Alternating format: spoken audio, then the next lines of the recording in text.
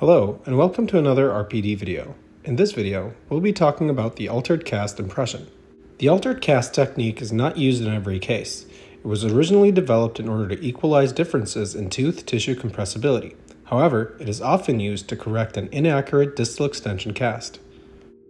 Either way, record bases need to be attached to the distal extension segments of the framework, and a final impression is made of the distal extension area of the arch.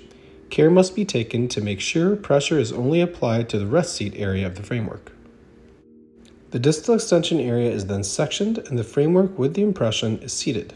The distal area is then re-poured against the new impression. Let's take this clinical case as an example. An inaccuracy was detected with the distal extension component of this mandibular class 2 case.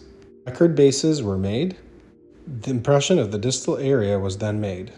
The distal area was sectioned off the cast and repoured into the new impression. Now the same movement is seen on the cast as it is in the patient's mouth. Thus, the cast now accurately represents the patient and is considered correct. In order to make the framework stable again on the cast and in the mouth, a new resin stop is made using pattern resin.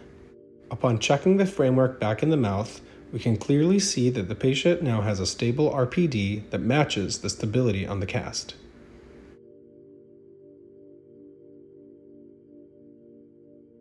We hope this video was helpful, and we'll see you again on the next RPD video.